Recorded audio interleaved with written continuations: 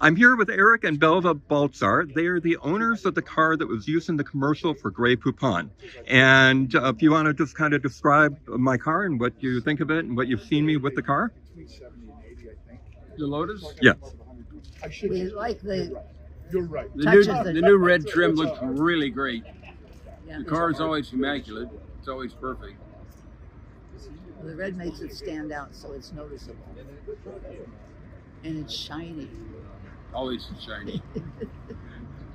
more, more of a car, more.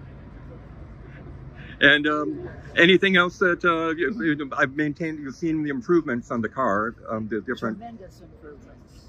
He maintains the car like the little old lady that has nothing better to do. It keeps everything spotless. No dust, no water spots, constant upkeep. Well, thank you very much. I appreciate that. And of course, we can't say, would you like some Grey Poupon, please? GT, no. GT. Yeah, the, the car is a, uh well maintained, well taken care of. And then we discovered, and Tom, Tom told me that it is one of two made when these were new One as one. a show car. Yeah.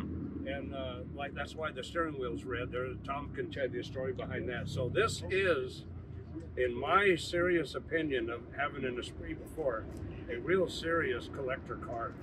Uh, too bad I'm I don't have the room for another car.